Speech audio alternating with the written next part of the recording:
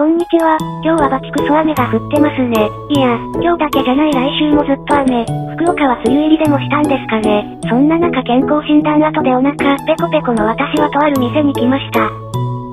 見てんね。道が変わんこつなりよるばい。足がもうぐちよぐちょ。そんな中到着したのがこちら。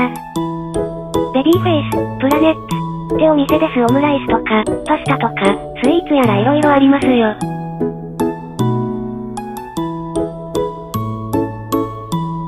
で頼んだのは、アナゴフリットとふわふわ、卵のオムライス、980円ふわっふわ、オムライスの上にカリ、カリに揚げたアナゴが乗っています。和風ダレとネギの風味が楽しめて、美味しいカリカリアナゴとふわふわ、オムライスのギャップがたまらなく、美味しいです。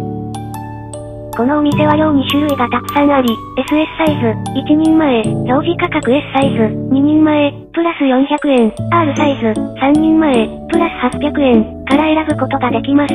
複数人数で同じメニュー食べるときは大きいサイズ選ぶとお得ですね。あ、ちなみにこれは1人前 SS サイズ、980円でした。